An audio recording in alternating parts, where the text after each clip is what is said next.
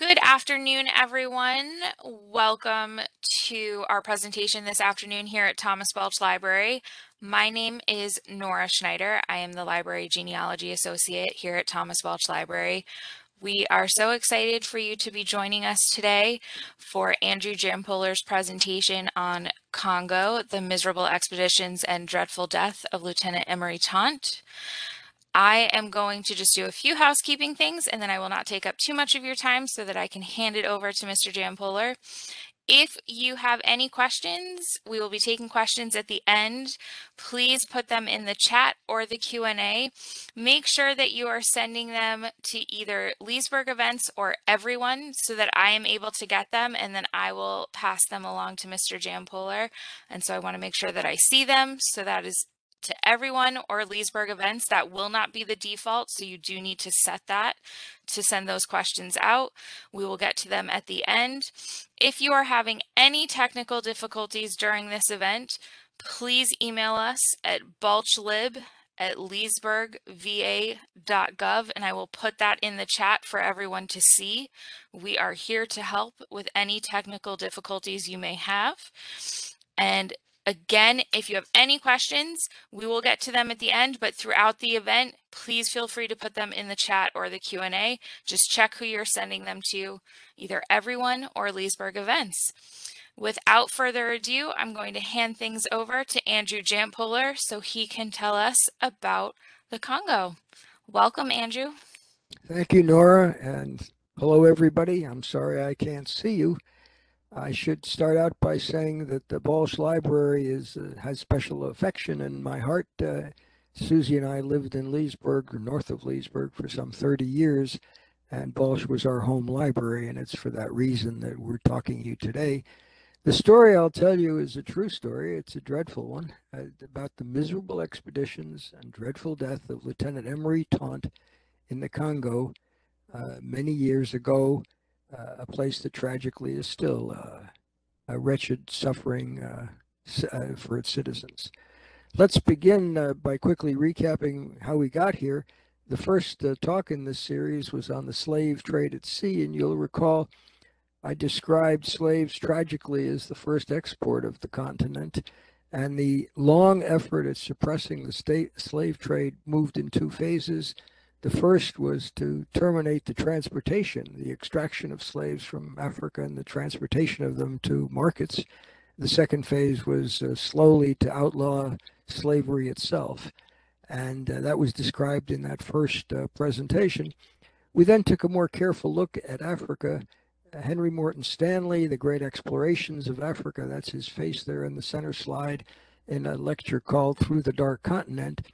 And it it was a discussion of how the world, the outside world, attempted to understand Africa through uh, these extraordinary expeditions of exploration uh, across Africa, principally uh, in the mind of many, uh, led by Henry Morton Stanley. Today, we'll be talking about uh, a, quite a different phase in African history.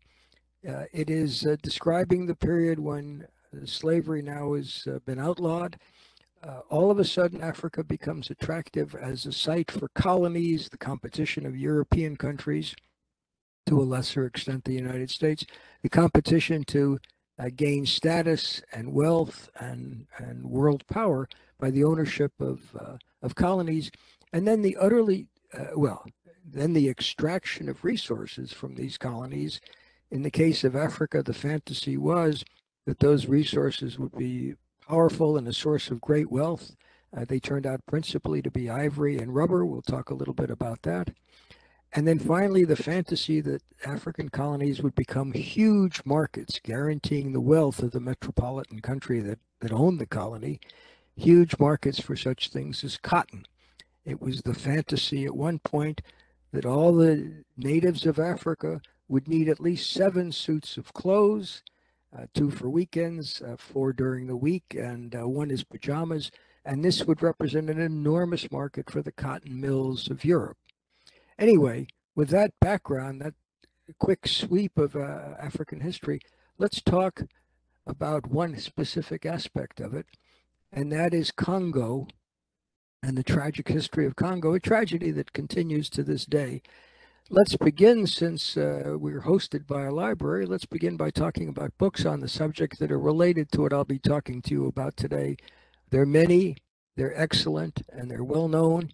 Uh, Joseph Conrad, the Polish uh, slash British author, uh, famous for his storytelling, uh, specifically The Heart of Darkness, uh, which reflects his own experiences in the Congo on the river.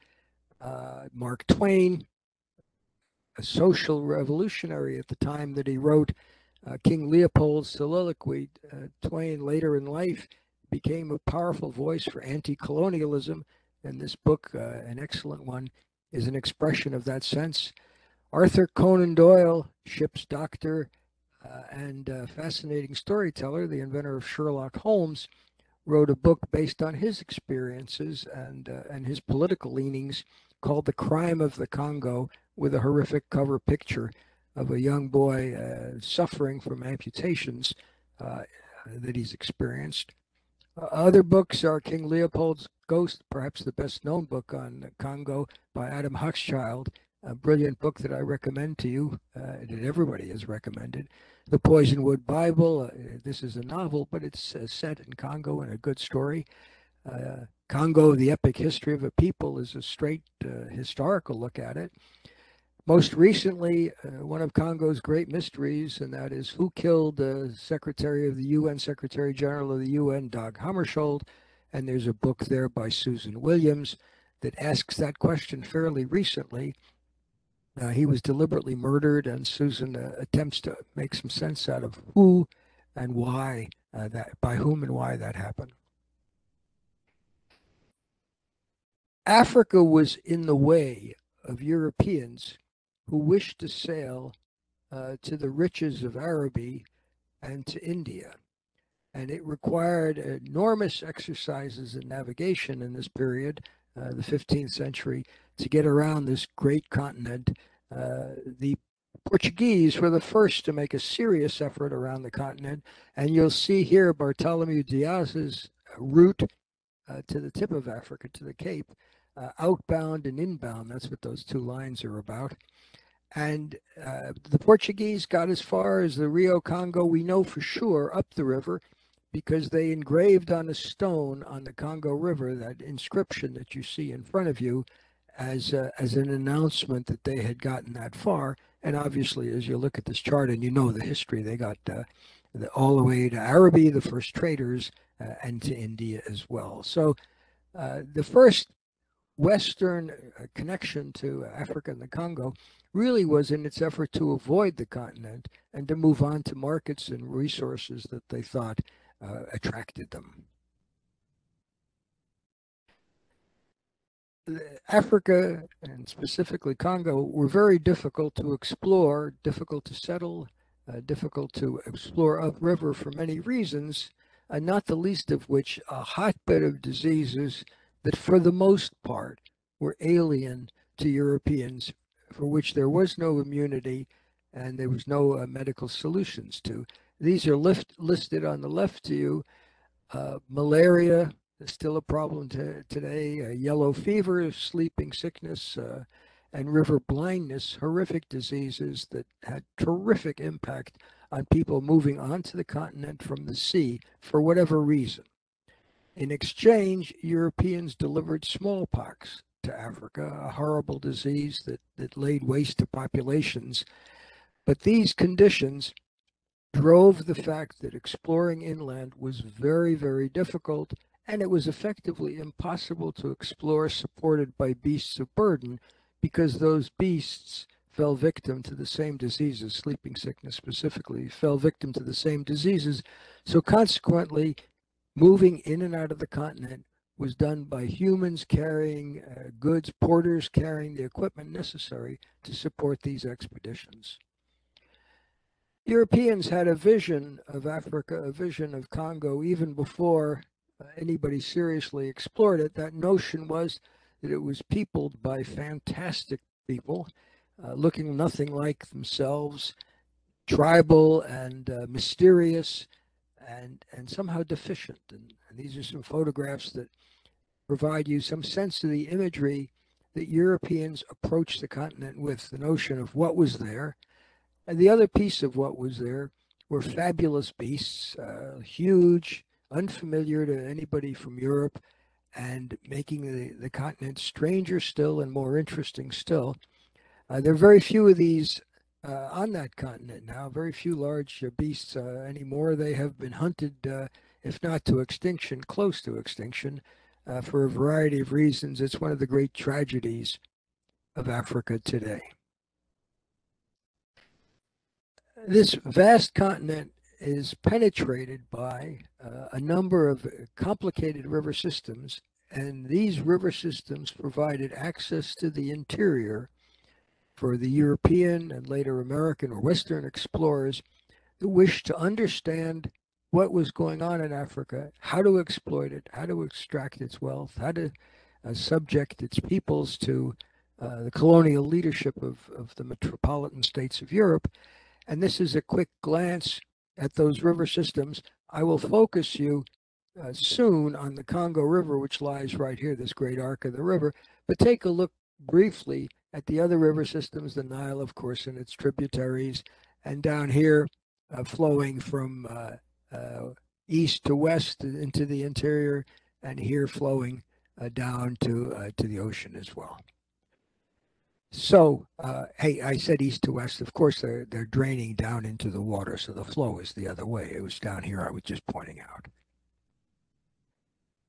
A quick glance at those principal river systems, comparing it to the major rivers of the world, the Nile here on top, the Amazon. Uh, these sizes of these charts represent the water discharge, the length of the river, and the size of the drainage basin. This is it. We get down here to what is labeled the Zaire. This is the Congo River, and it'll give you a sense of how it stacks up against the Ganges, the Brahmaputra, uh, the Amazon, of course, the, the great king of the rivers, and finally the Nile, very slender, very small, but very, very long. Uh, so we will be focused on the Congo River, this great bend here in the river as we talk. That river represents the principal transportation system of the country that uh, the colony that was the Congo, the country that today is the Congo. And this will show you in sort of sketch form just how important uh, the river is to the transportation of this vast interior uh, part of Congo. Here's the capital, Kinshasa, and out to the Atlantic at Banana Point right there.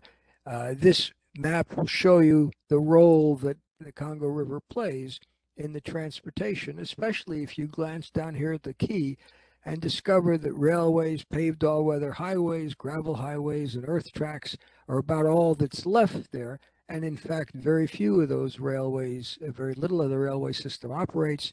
The paved roads are hardly paved today. And essentially, traffic moves up and down uh, on that river.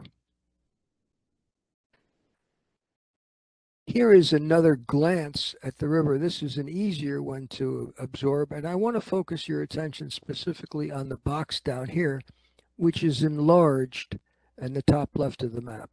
What we are enlarging is a section of the river that is from end to end rapids. This portion of the river from what is today Pool Malebo down to Matadi, and this Kikongo language meaning stones, this entire section of the river is not navigable. It has an extraordinary system of rapids. Uh, the Crystal Mountains run through right here. Extraordinary system of rapids that makes it unpenetrable on the surface, and consequently, you have to go around that portion of the river to go uh, from the Atlantic to the interior. Uh, the rest of Congo is landlocked for that reason. Let me show you that in some photographs so you'll get a sense of it. This obviously is not a photograph, but these are. Uh, the river is impassable and has to be uh, circumnavigated on foot for most of the history of Congo, by rail for a fairly brief period of time. I don't believe those rails uh, railways run any longer. These are photographs that I took about 10 years ago of those uh, right here, of those rapids that mean the interior of Congo, the interior of Africa, is inaccessible to maritime trade uh, on the waters. As part of my research uh, for the book that uh, I'll be describing to you quickly. As part of my research, my son and I elected to go down the river, duplicating one of Emory Taunt's uh, trips himself. Uh, we would go down the river from its headwaters at Stanley Falls. The rest of this now says rapids again. Uh, the Lualaba down here is navigable, but not uh, through the rapids here. We would go down the river from from Stanley Falls around the Great Bend of the river, down to Pool Malebo, what used to be called Stanley Pool, to Kinshasa, and overland down to the ends of the falls, and finally by water again uh, to the Atlantic. And our effort was to understand the country and the role the river played in it, and to get some sense of, of what that was like uh, for Emory Taunt, and for that matter, for Henry Morton Stanley, and all the others who had explored, lived in, lived and died in the Great Basin of, of the Congo. Oops. There we go. Jason, this is my son Jason up here. He came along for many reasons, not the least of which is he was trained as an Army medic and as an Army nurse, and we thought that that kind of uh, help would be useful. The rest of our crew, uh, these four here, uh, helped us, didn't help us, made it possible to tell the truth, down the river in this boat right here. And at the very end of the river, after the rapids, we got into an even smaller one and continued down to the Atlantic.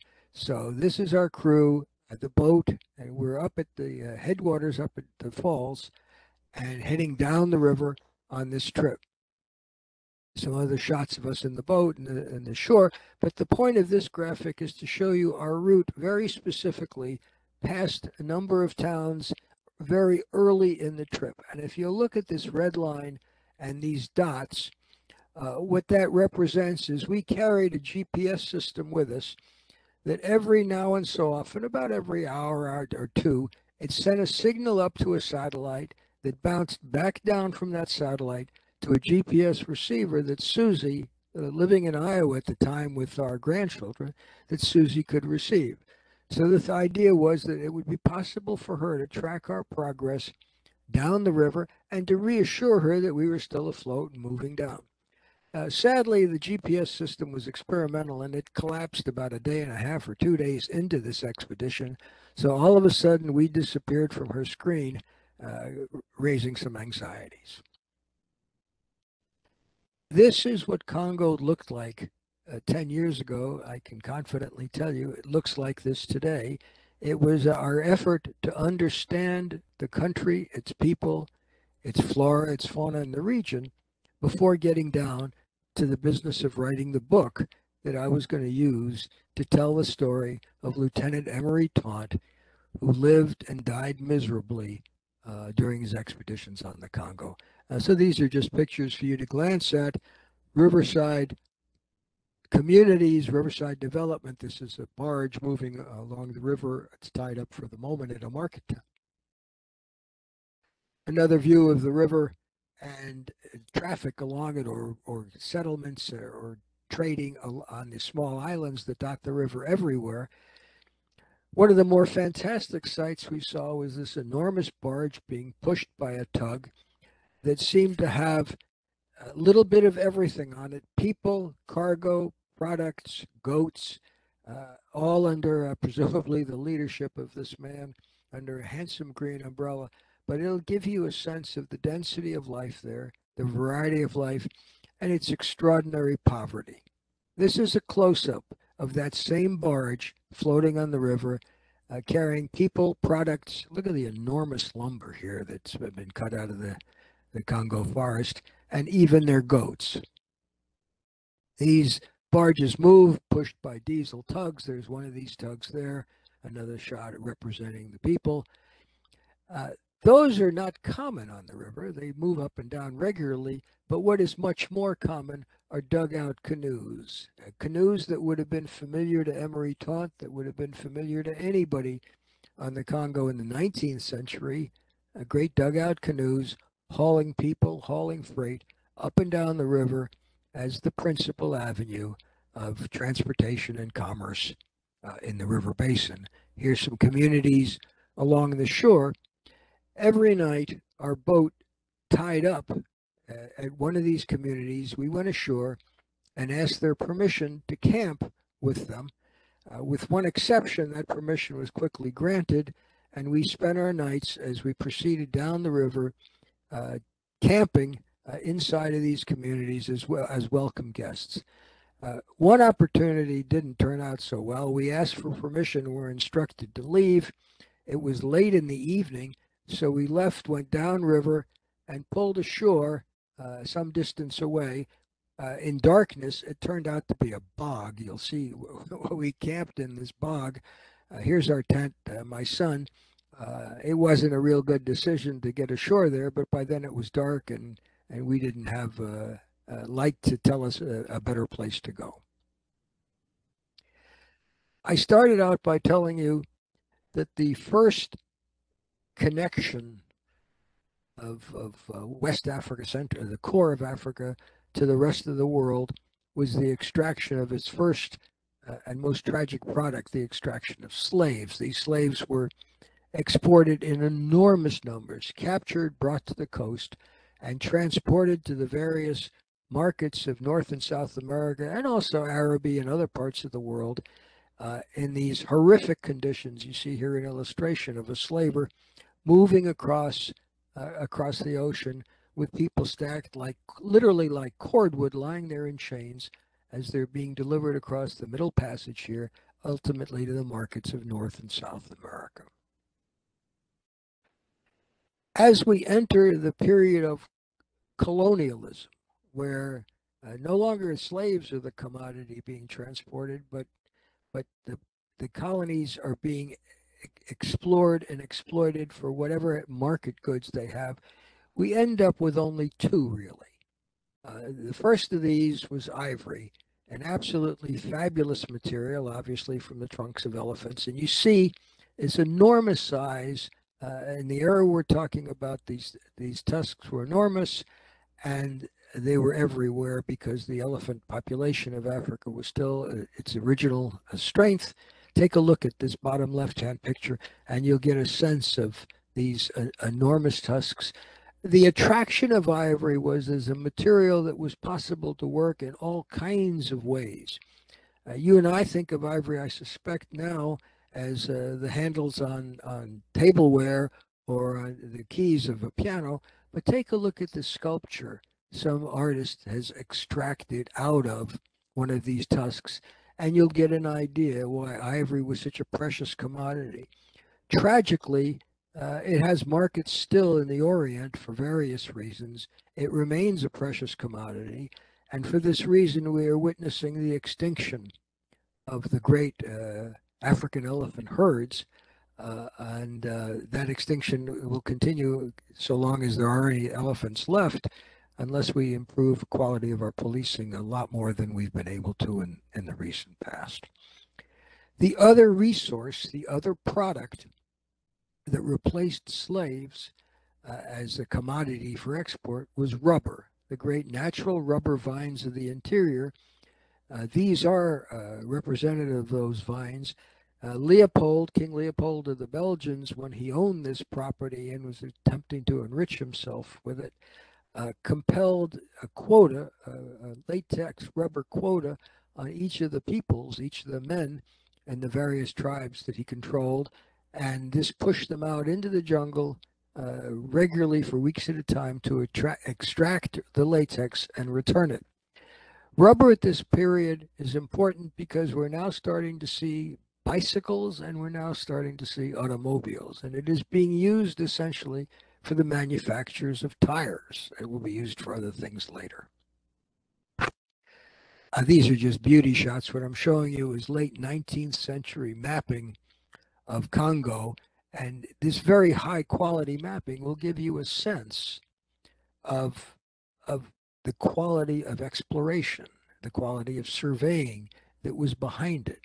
We're looking at a very major effort of Europeans to understand what this continent was about, what it was like, and and what what it could contribute to the wealth and power of the metropolitan states. These are beautiful maps uh, by Letts in, in the late 19th century. There's a site on the internet, uh, David Rumsey, uh, a map collector who has very generously put up his collection, digitized it, put it up on the internet, and I commend it to you for absolutely beautiful maps of most places of the world.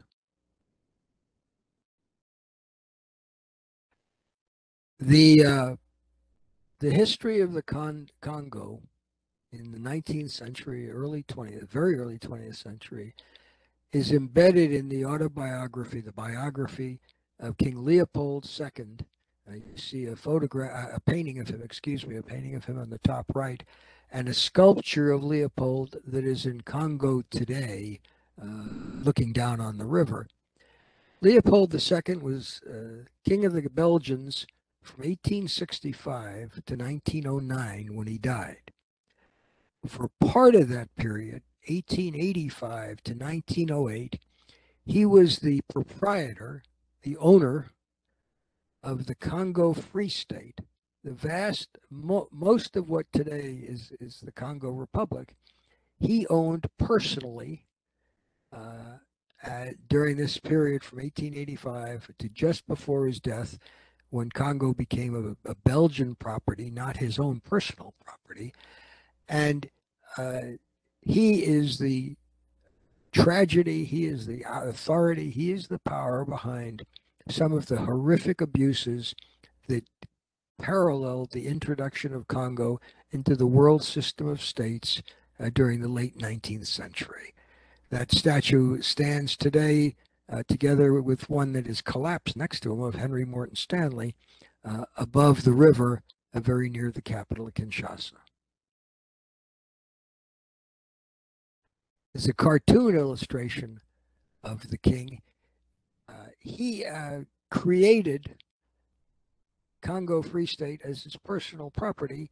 He had the benefit of an, a wave of exploration uh, during the period of time that he ruled the most famous of those uh, African explorers we spoke about earlier uh, in a previous discussion, Henry Morton Stanley, there are his dates. Uh, Stanley's a fascinating figure, uh, a Welsh, uh, born in Wales, into poverty, into neglect. Almost everything Stanley said about himself was complete fiction. But he was, in fact, quite accurately described, quite truly described, as one of the several great explorers of the world. During his lifetime, there's dates there on the right. During his lifetime, he made three epic voyages of discovery across the African mainland. Uh, the first one, and the one that, that catapulted him into fame, was the discovery of the missionary, medical missionary, uh, Dr. Livingstone, the famous phrase, Dr. Livingstone, I presume. Incidentally, uh, the judgment is that that phrase was never uttered. It was penciled into his diaries later, uh, and then made made uh, made him into something of a laughing stock because it's such a stiff and awkward expression. But he was a brilliant explorer with a constitution that was amazing. He survived those diseases I described to you again and again in three expeditions, months long expeditions across the continent. There's Livingstone, the uh, medical missionary I described to you. His discovery uh, in, in the center of, of Africa by, by Stanley was the famous moment that catapulted uh, uh Stanley into fame uh, as an explorer and that forever give us uh, the expression, Dr. Livingstone, I presume,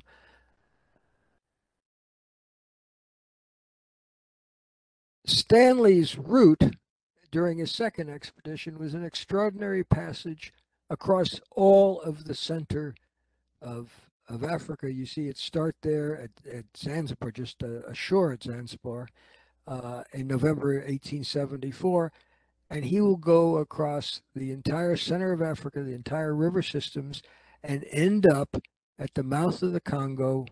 Three years later, still alive, uh, still in fairly good health, having accomplished something that uh, remains uh, unbelievable today, having crossed the continent on foot in the face of its disease, in the face of its geography, and all the other threats. I mentioned to you that his statue is right next to the statue of King Leopold, above the capital, Kinshasa. This is that statue. It has long since fallen down and it lies there uh, in this condition as you see it. The picture on the left is uh, Henry Morton Stanley in 1885. Uh, I'm fascinated by it because the hat uh, added about six inches to his height. He was a man of relatively small stature, and uh, and it's quite quite a chapeau.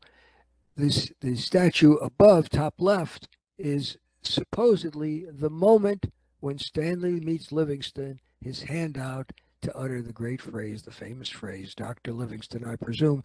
That statue was in Wales, where uh, Stanley, despite his claims of American birth, American citizenship, uh, repeated claims, where he was born, and spent the first uh, years of his life in, in a poorhouse, uh, and ultimately left uh, to pretend that he'd never been there for some period of time. The great American mover and shaker of the role the United States played in the Congo and the Congo Free State was a man named Henry Sanford, Henry Shelton Sanford from Connecticut.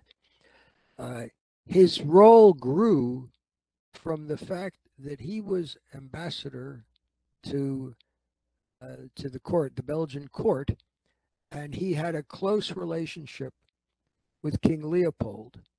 Uh, he would become fascinated by the possibilities of the Congo for personal wealth.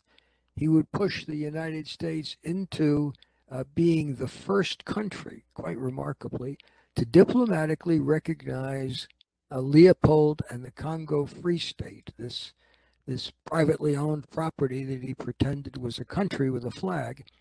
This was all uh, a consequence of Henry Sanford's relationship with Leopold and with his business interests that he saw would profit enormously from the resources of the Congo. He was the, the impetus behind the American diplomatic recognition. He was the impetus behind the efforts the American government placed in several people to explore the resources of the Congo to understand the potential of its markets. Uh, he is incidentally the namesake for the city of Sanford, Florida. He was an investor in Florida real estate. At the bottom left in Connecticut is his tombstone uh, uh, where he is buried. Uh, I've boxed a part of the epitaph on it where it describes him as founder of the city of Sanford, Florida, and one of the founders of the Congo Free State. And that's a fair description to his uh, eternal shame. Uh, he was, in fact, one of the founders of the Congo Free State because he legitimized King Leopold's efforts uh, internationally and in the eyes of the United States especially. As the interest in Europe grew for understanding what was in Central Africa, or understanding what was in Africa, and apportioning out the colonies, the potential colonies, uh, the effort was conducted under the leadership of Bismarck at the Berlin Conference, which met at the end of 1884 into early 1885, the cartoon there uh, shows Bismarck standing up before the delegates of that conference and announcing that it was time to cut up the cake that was Africa and to apportion it among the European countries who sought colonies and the imagined wealth that these African colonies would provide. This period plays itself out against the backdrop of the presidencies of these men, Arthur, Cleveland, and, and Roosevelt, and they would all play a role in deciding how the United States would approach Africa, would approach the ambitions of Europeans and colonists uh, in Africa. The first expression of this was sending a man called Tisdall, uh, a businessman, a man who spoke, interestingly enough, four languages, and who had extensive business in uh, in South America and, and, extensive experience living in South America.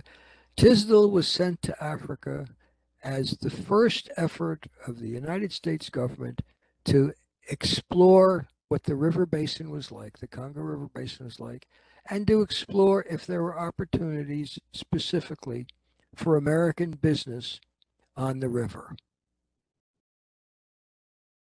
as those explorations and efforts unfolded, this became an interest uh, more generally in the United States. And because American Navy had easy access to the African coast and it was difficult to get there any other way, uh, it fell to the Navy to send the second uh, effort to understand the Congo, its market, its peoples, and so on.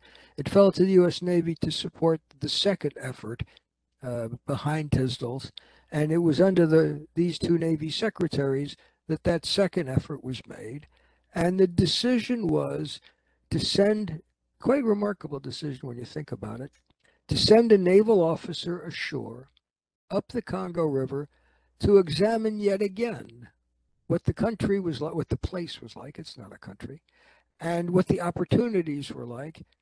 And this was easy to do because the United States Navy generally maintained a ship presence off the African coast in this area. This is the mouth of the Congo River.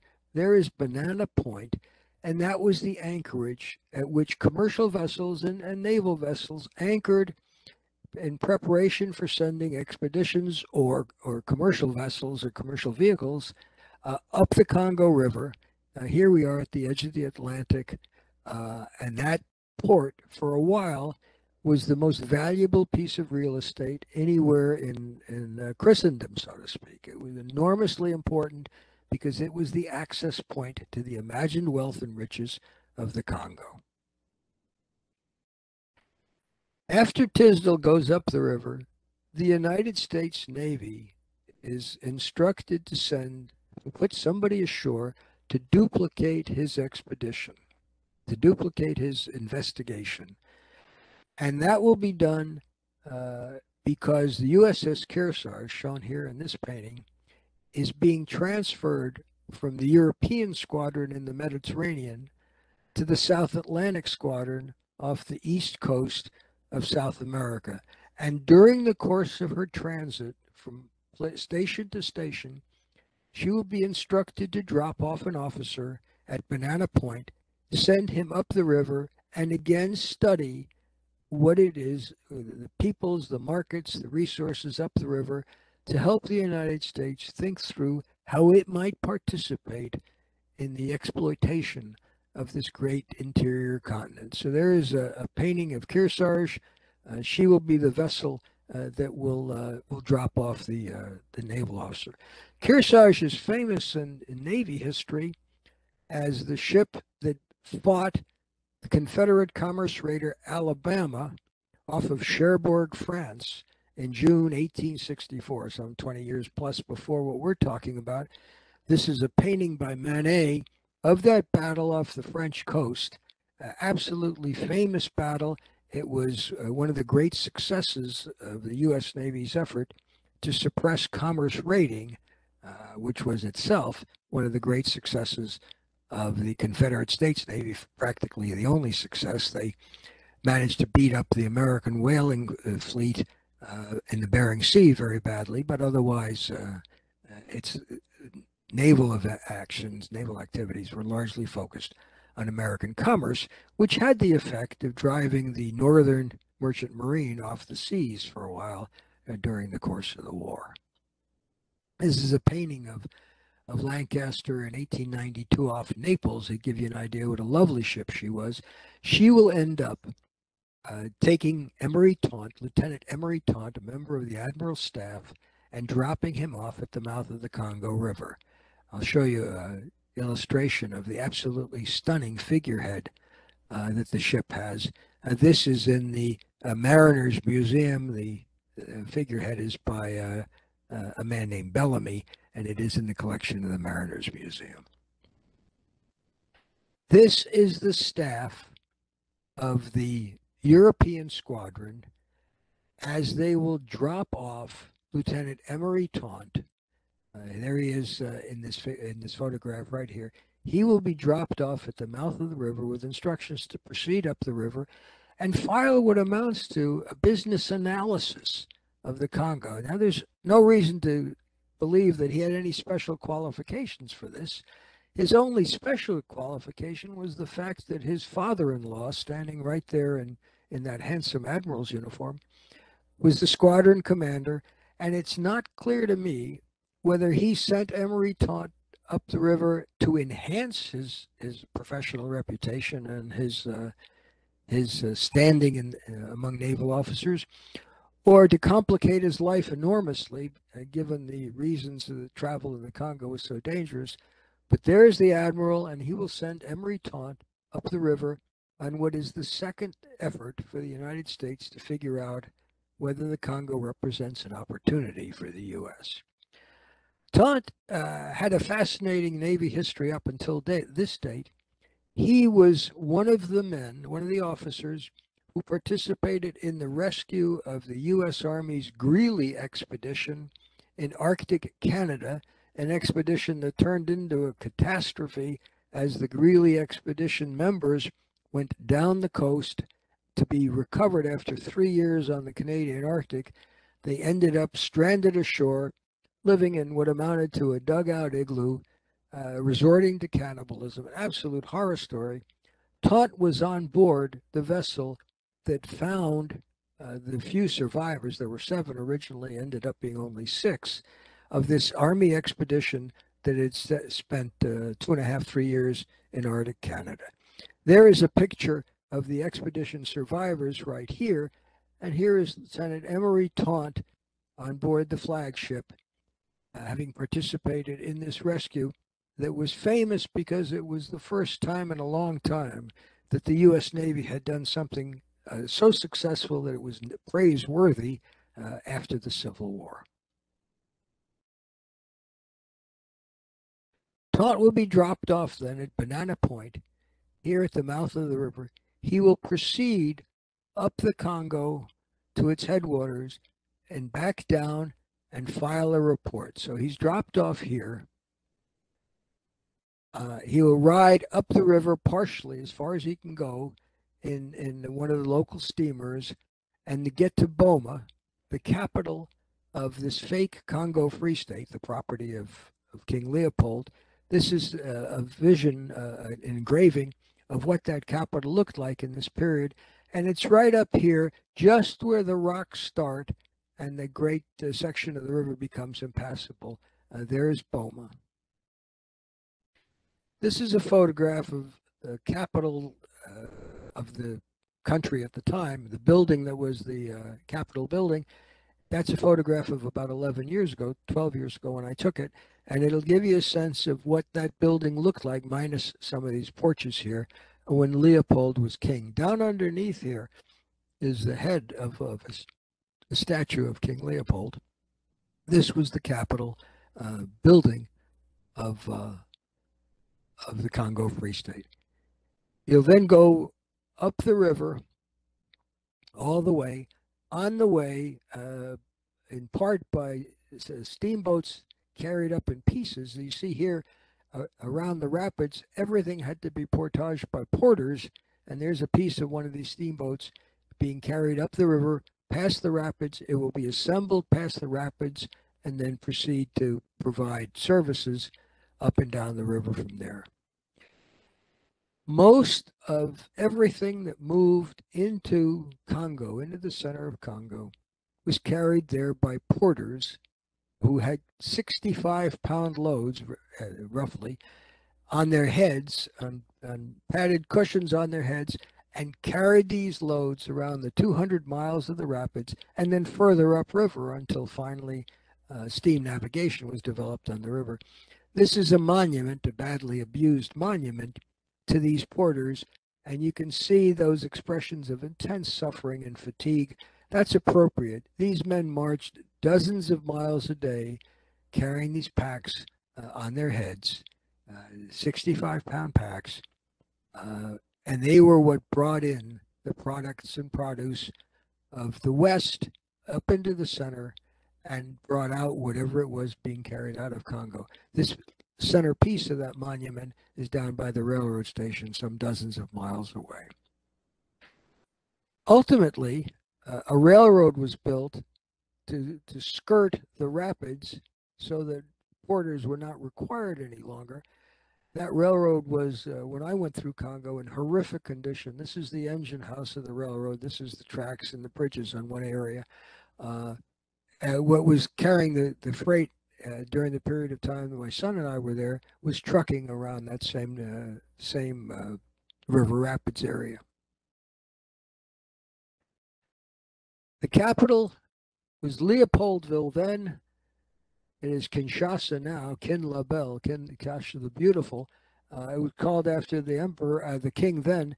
And this is an image of, of Stanley Pool, the great open water pool just beyond where the capital sits.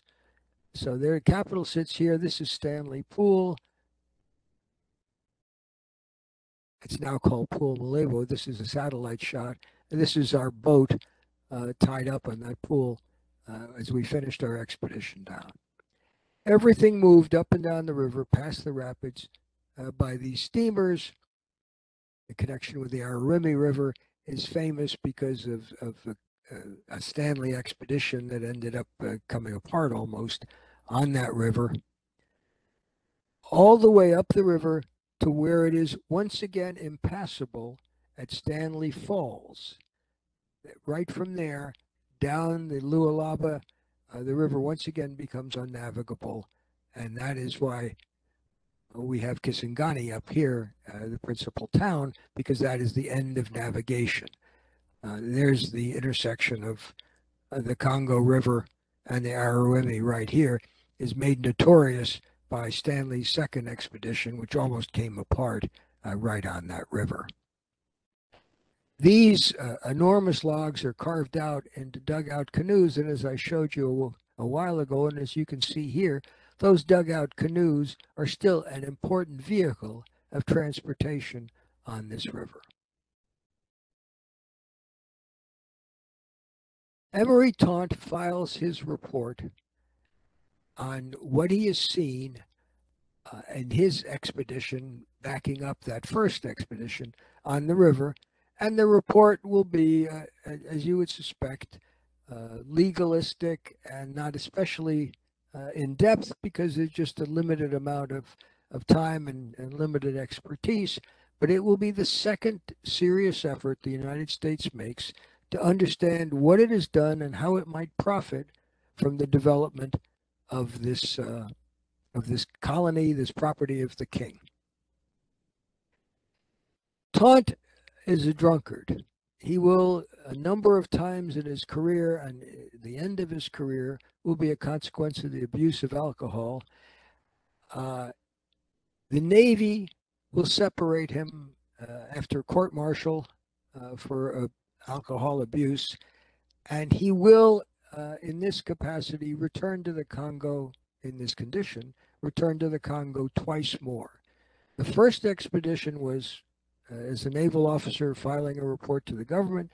The second time he will be in the Congo was uh, hired by Henry uh, Sanford, uh, there in, in the top coat, hired by Sanford as chief of something called the Sanford Exploring Expedition, which is an effort on Sanford's part to monetize his uh, his interests and his status uh, as an inside man with the king. Sanford is trying to figure out a way how to export ivory from the Congo, and he needs a man on the ground to run this team that he will send up there under the guise of a scientific effort, and it will turn out to be a taunt. Taunt will, in civilian status, be selected by Sanford. This is the letter appointing him uh, to Emory Taunt, Lieutenant Emory Taunt, USN. You're hereby appointed chief of the Sanford Exploring Expedition. And in 86, he will go up the river and again, uh, uh, he will have trouble with the abuse of alcohol.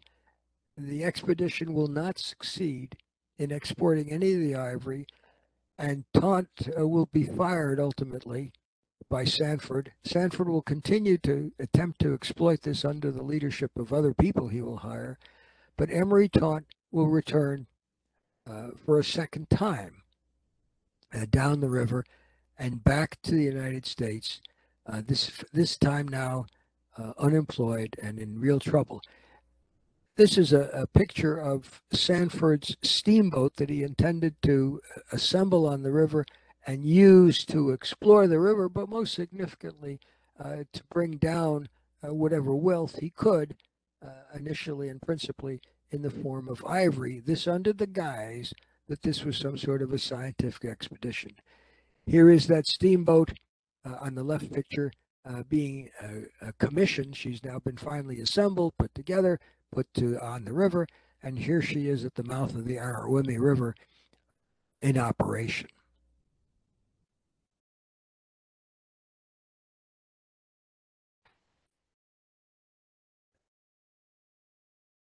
Taunt's wife will suffer through uh, his problems both in the Navy and as a civilian, and she will fairly soon, as I will describe to you, suffer through his death on the river. This is a letter she has sent uh, to the Navy asking him to look with leniency upon her husband. These fearful attacks, she's referring to not to disease, but to drunkenness, uh, come upon him at times, and he seems to have no control over himself. The result will be Taunt's career will collapse in uh, in court martial following uh, a, a, number of catastrophic episodes when he is under orders uh, to join USS Nipsic at the Brooklyn Navy Yard. He's under orders to join the ship. Nipsic is scheduled to sail for the Pacific to participate in some uh, very delicate uh, political military events in Samoa. This is the U.S. Navy Yard, New York. Taunt disappears from the Navy Yard and is gone for an extended period of some weeks. He is finally tracked down in a hotel, uh, living indecently and having suffered a number of attacks of uh, alcoholism. He will be court martialed uh, for this condition and ultimately separated from the Navy. Nipsic, the ship you see here, will sail on schedule uh, for the Pacific under the command of Commander Dennis Mullan. She will be in Apia Harbor in Samoa in March 1889 when a horrific typhoon blows up in Samoa and destroys all the shipping in the harbor. Nipsic is here among other Navy vessels. They're all there because Germany, Great Britain, and the United States are all trying to figure out how to get a piece of Samoa, how to colonize Samoa, what the advantages to that colony would be. And when the typhoon hits, only a single Royal Navy ship has the good sense to escape the harbor out to sea. She will survive all the other vessels, German, American, and other British vessels, and the commercial transports that are in the harbor will be destroyed. Uh, that will, as you might suspect, uh, uh, end the career of, of the captain of, of Nipsic. Although not as as quickly as you'd think, because this is, uh, typhoon is regarded by the Navy as an act of God that no one could have been prepared for. The letter you see here is Taunt applying for the job of the first American consul in Congo. This, uh, the United States government establishes the idea that they need to have a commercial representative in Congo, uh, effectively the only diplomat in American diplomat in Congo. Taunt applies for that position, and as part of his application, he writes the president and he says this is a first he knows more about Congo than anybody else in the United States, but this will be a vehicle where he can restore his reputation and his good name, and that uh, restoration will be his recompense since the pay for this uh, assignment is very, very austere, very limited. The job is completely underfunded, and uh, and the calculation is he will make only a few dozen dollars as the first resident consul of the United States in Congo. And this is the register of the American consuls in Boma, Congo Free State. And you'll see his name there on the register, uh, Emory Taunt, uh, leading the list. We don't have to talk about these others, but they were his successors. And he will be the official diplomatic representative of the United States in Congo if he is selected for this job. Uh, in fact, he will be selected to be the consul, and he will proceed on the river uh, and start to work. The river will attract, uh, and the fact that it is a colony of the king and the abuses of that colony will attract the interest of all sorts of, of other people.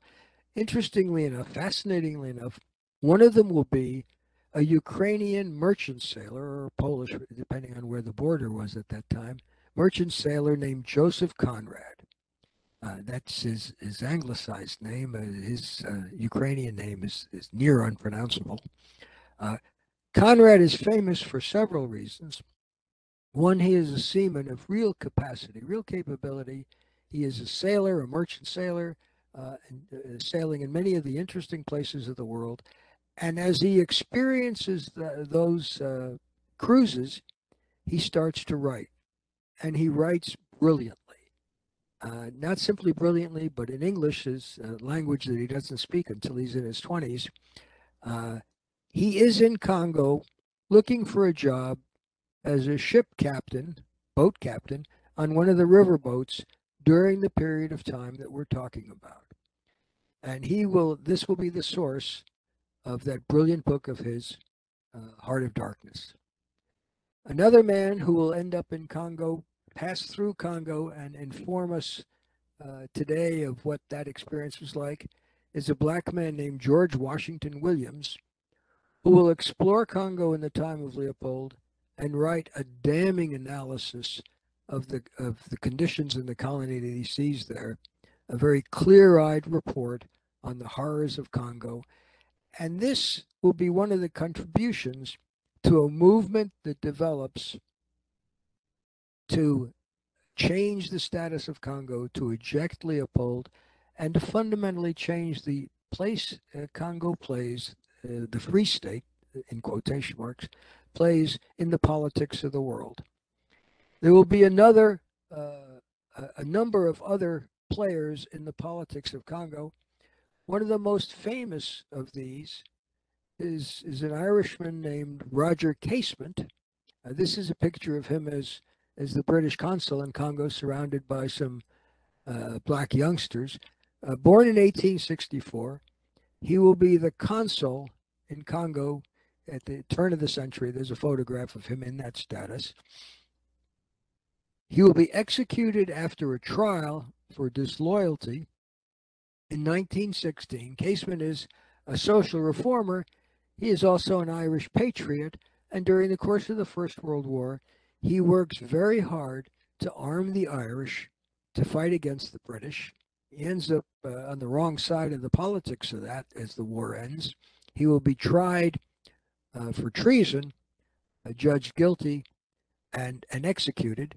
But the reason he is in this story is because, as Congo consul for the United Kingdom, he will report very clearly and very persuasively on the abuses of the king that uh, that he has seen in that colony. This is a, a cartoon of Casement uh, in prison, and this is a, a, painting of his trial. A report in the local newspaper about Sir Roger's last words as his execution, and Irish stamps commemorating uh, the role of the patriot that he was uh, there are a number of other people who will motivate, who will create the public movement that will profoundly change the political status of Congo. Uh, one of them is Edmund Morel, uh, French-born British uh, citizen, uh, modest, uh, modest upbringing. He will work as a shipping clerk in a company called Elder Dempster Shipping. Elder Dempster is one of the Liverpool companies that moves uh, ships back and forth to Congo. And he will, as a clerk, be struck by the imbalance of cargoes as Elder Dempster ships move back and forth from Africa. The ships coming from Africa are carrying uh, ivory and rubber, uh, commodities of great wealth, uh, making a lot of money for, for the owners. The ships curiously going to Africa are carrying nothing but arms and ammunition, no products that are of any use to civil society. And Morel begins thinking about this, and he realizes the horrific exploitation that it must be going on as reflected in trade that has precious commodities moving one way and the instruments of subjugation uh, moving the other. He and others will create in 1904 the Congo Reform Association. And this association will be a loud and persuasive voice agitating for change in the Congo, agitating for, I apologize for the sirens in the background. There's something going on in Washington, obviously. Agitating for a profound change in the governance uh, and, and the mechanisms that are being used to control the native peoples of Congo. Others will get caught up in the so, this social movement as well. Famously, Mark Twain. His uh, his dates are there. You and I know Twain as as the great storyteller of the Mississippi River. He will, as he ages, become generally horrified by American colonialism. Uh, that horror will will be most explicit as he contemplates the abuses, uh, American abuses in the Philippines flowing from the Spanish American War. Uh, Twain will become an active reformer, a voice for reform, a persuasive and influential voice for reform. And in his uh, attention span, he will encompass the Belgian Congo and also join the Congo Reform Association and be one of the spokesmen uh, for the purposes of that association. His uh, comments will be, his, his role will be so effective that it will persuade the king to publish a pamphlet, to have a pamphlet published. It's called An Answer to Mark Twain. This Morel there is also. Uh, this is the cover of that pamphlet, which shows Mark Twain as a serpent orbiting overhead the present Belgian Congo, there on the right, a peaceful, tranquil, all illuminated industry and, and prosperity, farms and everything. Uh, this pamphlet will be an effort to respond to Twain's criticisms and brilliant critique of the abuses of the king uh, in the Congo. It would be an effective piece of propaganda uh, to, uh, to accomplish that. Arthur Conan Doyle, uh, you know him in a different role entirely. Arthur Conan Doyle will also uh, speak up uh, for reform in the Congo. Uh, and there is his book uh, uh, published in New York, The Crime of the Congo. there's on the left, obviously, Conan Doyle. He will be another of the persuasive, well known influential voices arguing that what Leopold is doing in Congo is a crime. He is abusing horrifically its natives, forcing them into labor uh, under horrific conditions. And uh, these voices will coalesce around the expulsion of Leopold from proprietorship of what pretended to be the, the uh, Congo Free State. That will succeed. Leopold will back off, even while he is still king, he will back off from this property, and the Belgian legislator, legislature will take Congo off uh, over as a colony of the country rather than as the personal property of, of the king. And that will endure, that status will endure from little after turn of the century through the middle of the year 1960. Quite remarkably, for, for decades, when the then King of Congo, uh, King of uh, Belgium, will give up what had become a, a property not of, of him, of his father, actually, personally, or the legislature, the state uh, parliament, uh, he will give it up uh, and yield Congo back to its native peoples. This is a parade uh, through Kinshasa. Uh, it's a photograph from Time magazine of June the 30th, 1960, showing the then king riding his limousine through the center of town as a, an event during the return of Congo to its own peoples. And one of these people's bystanders uh, watching the parade rushes up to the king's limousine, the young king's limousine, and steals his ceremonial sword. And this is a photograph of Time magazine of that moment of uh, lese majesty when, when the sword of the king of the Belgians is taken from him, symbolically, I think, marking the end of Belgian rule, Belgian control, parliamentary control in this case, uh, over the Republic of Congo. So that's how that part of the story ends. Um, the story that I've just described to you is told uh, in more detail and more, uh, I would hope, more uh, eloquently in a book published, uh, oh, here about 10, 12 years ago uh, called Congo, the Miserable Expeditions and the Dreadful Death of Emory Taunt, Lieutenant Emory Taunt, United States Navy. So I thank you very much for your time and attention. All the books I have mentioned in this talk are on my uh, website maintained by my computer literate wife. Uh, this is an image of that website, and it also will give you links uh, to the previous talks if uh, if these stories are of interest to you. Down in the bottom, uh, the books that uh, I've written, maritime history books on uh, the first on a Navy aircraft that goes down off of Russian Kamchatka uh, during the Cold War. Uh, sailors in the Holy Land, a really odd expedition in the 1840s. The United States Navy sends uh, down the Jordan River and onto the Dead Sea. The last Lincoln conspirator uh, is a story about literally uh, the last of the Lincoln assassins to be brought to trial. horrible shipwreck is the story of uh, British convoy uh, convict transport going to the Australian penal colony, uh, running aground in France, and what happened. Uh, Black Rock and Blue Water, uh, a hurricane in the Caribbean, and uh, embassy to the Eastern Courts, a fascinating expedition, diplomatic expedition.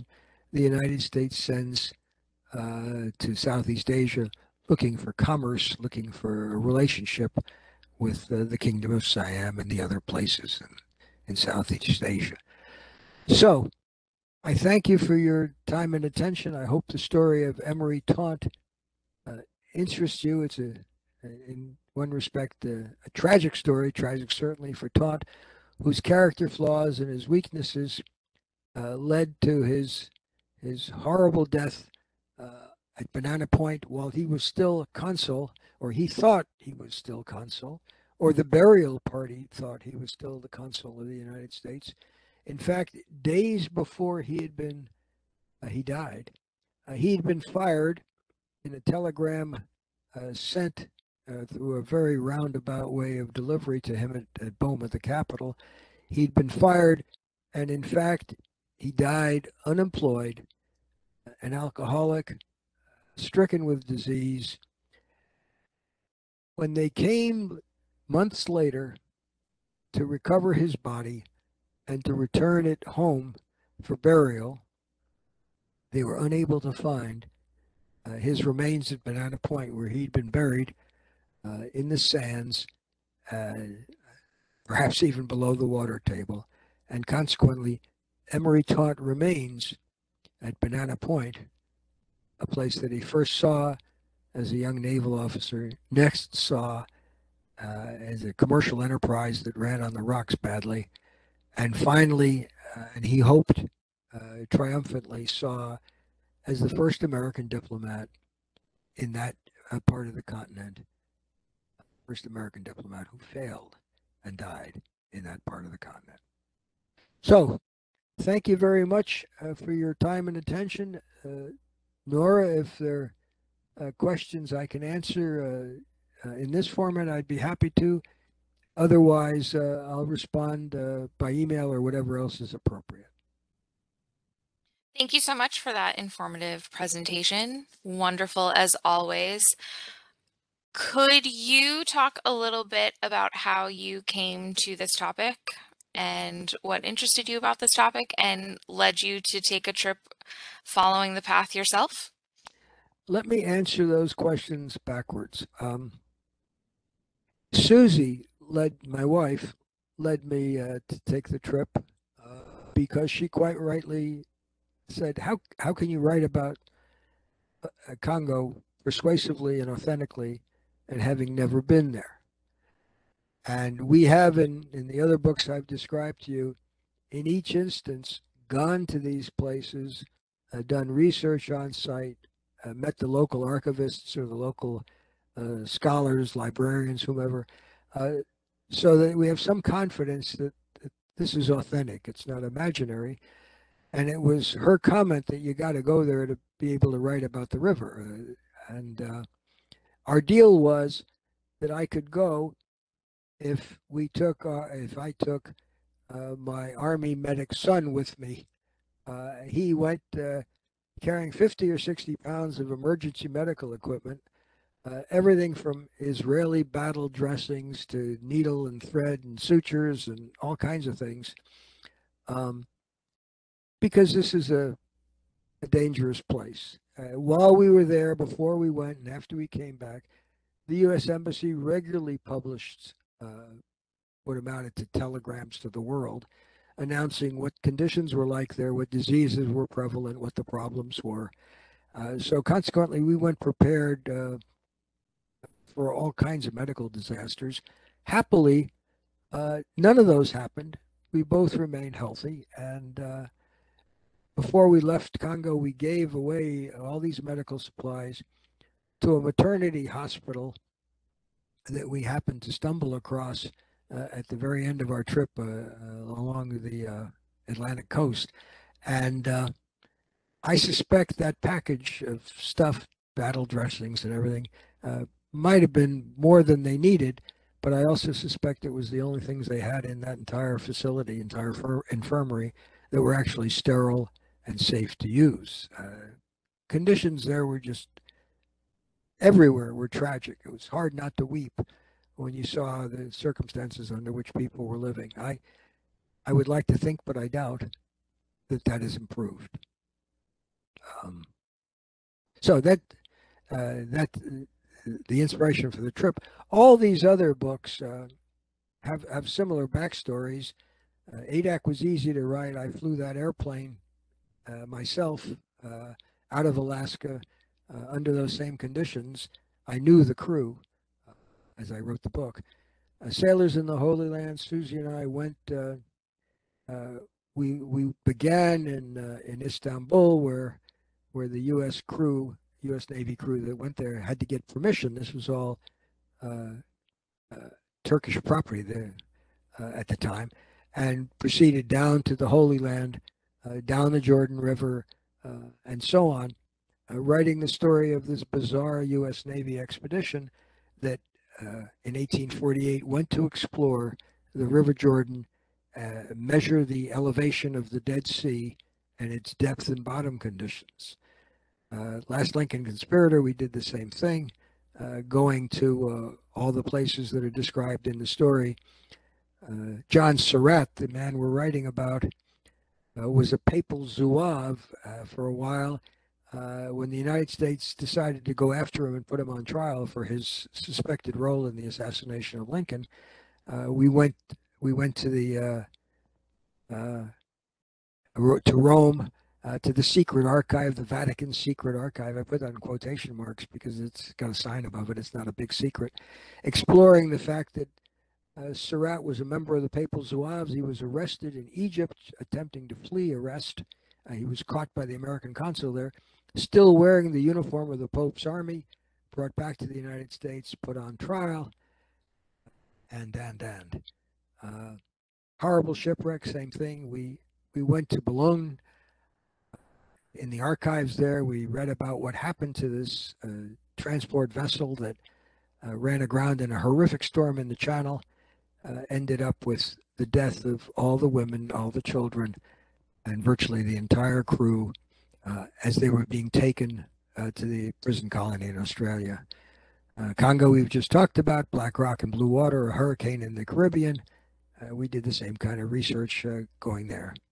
Um, I, I think you need to be on the ground in these places and look at the local archives and get a feel for the geography and and even talk to the people be, before you can write convincing history. Uh, and uh, that was certainly true in Congo. Although, as I look back on it, I was a little bit crazy to do that.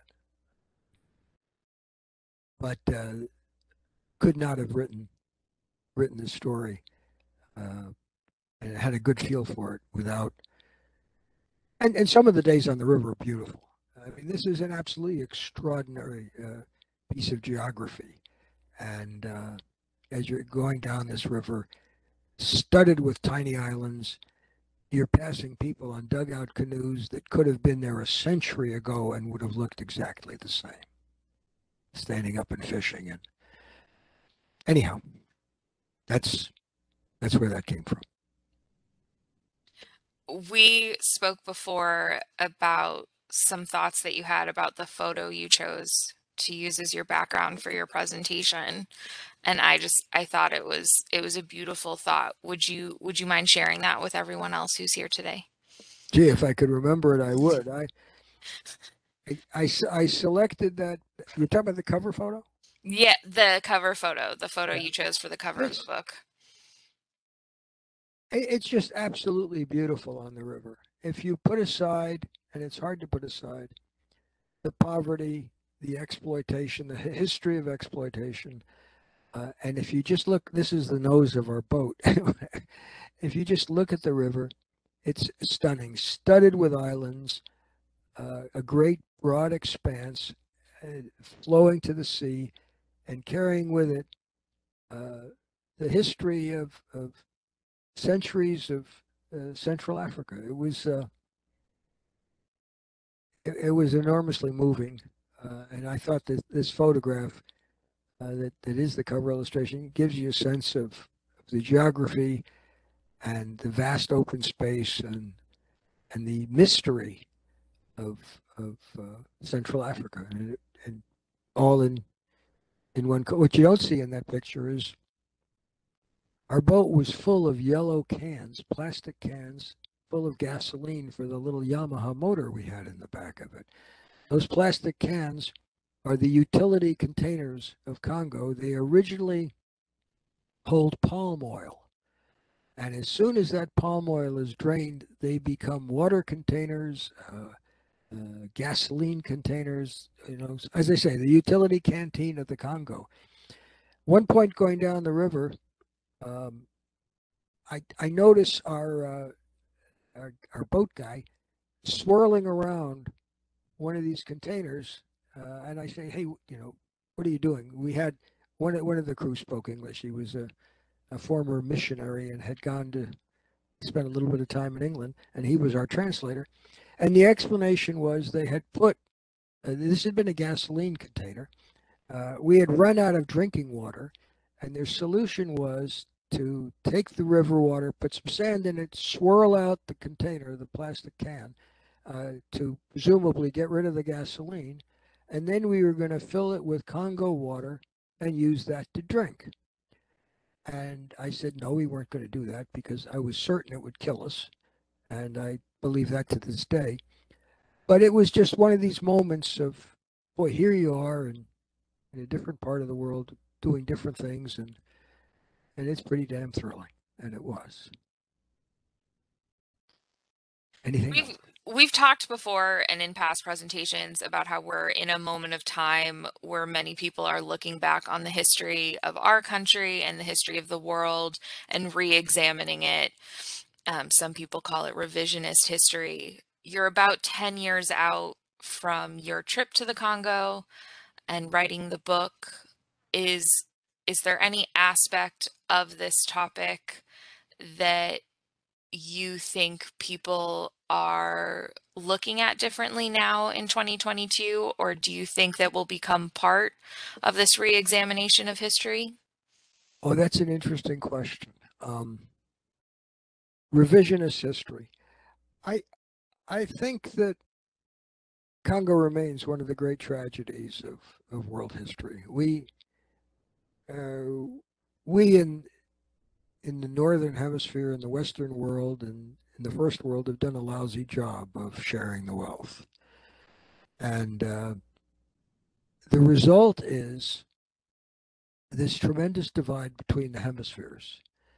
And what we're seeing now, and I, I speak as a former refugee myself, what we're seeing now is the global south has, through a variety of means, travel, uh, the internet, uh, all kinds of different means, discovered that the, the conditions under which they're living are miserable, but there is better in, in the global north, in the northern hemisphere. And I think this is the stimulus, or one of the stimuli, for the movement of, of refugees north, uh, pressing hard against the borders of of Europe, North America, and uh, and the wealthier part of the world as people uh, desperately look for a way to live better and recognize that where they are, uh, that's impossible. Uh, the pressures this put on immigration and, and relief and assistance are enormous. I think the pressures that we're uh, responding to are not responding particularly successfully. Uh, I think nobody in the global north is responding successfully. And of course, on top of that, that whole movement that is driven by economics and and conditions in life, on top of that is is conflict, which is stimulating enormous numbers, especially in Europe now, of refugees. Um, I think uh, I think that the world is a long way from uh, it. If it's perfectible, it's a long way from perfection, and I think that this is visible today in Africa south of the Sahara, for that matter, Africa north of the Sahara as well, as as people attempt to flee uh, conditions that are unlivable in the desperate search uh, for conditions that are livable. And this has, of course, nothing to do with Ukraine, but there's a dimension of that there too. That's much more philosophical than I intended to be. I apologize for that, but I've been thinking a lot about it lately as uh, as someone who was born in what is today Ukraine, and uh, and I I lament the fact that we're not doing a very good job of managing the expectation, the desperate expectations of people who have become refugees.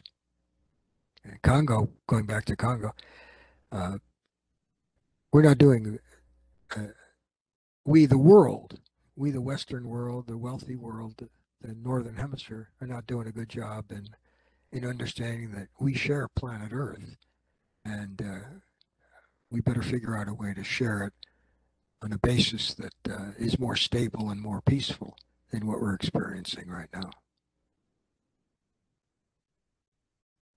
Well, we thank you again for sharing your knowledge and expertise with us in this wonderful presentation.